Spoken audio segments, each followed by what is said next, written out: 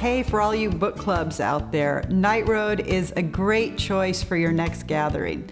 It's a book that offers a lot of meaty uh, issues to discuss from love, loss, redemption, teen drinking, helicopter parenting, guilt, and remorse. Let's pretend for a second that I'm at your meeting and I'm going to give you a couple of questions just to get you started. One of the powerful themes in Night Road is about motherhood and the balance that a mother has to find between letting go and holding on to her children. What's your take on what the kind of mother Jude was? How do her experiences and choices reflect your own? What do you think she did right in parenting? And what did she do wrong?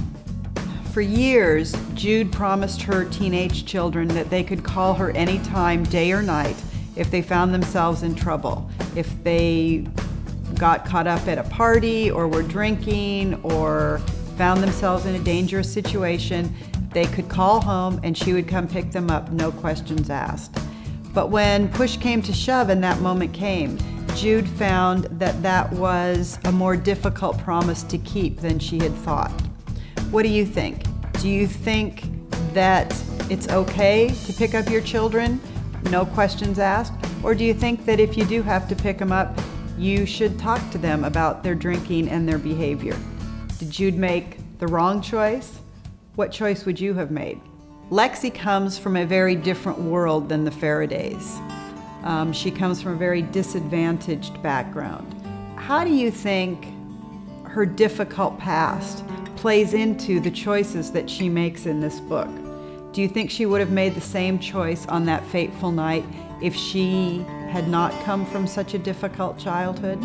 By the end of the novel, Jude learns that in a sea of grief, there were islands of grace, moments where she could forget all that she had lost and she could remember what she still had and find peace and joy in the life that remains and in the family that she still has.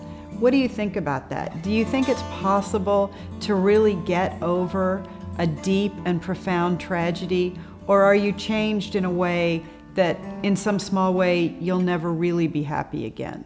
Well, there's a few questions to get you started. You can find more discussion guide questions in the back of the trade paperback version of Night Road. And I hope you use it and take it to your book club and have a great time discussing the book.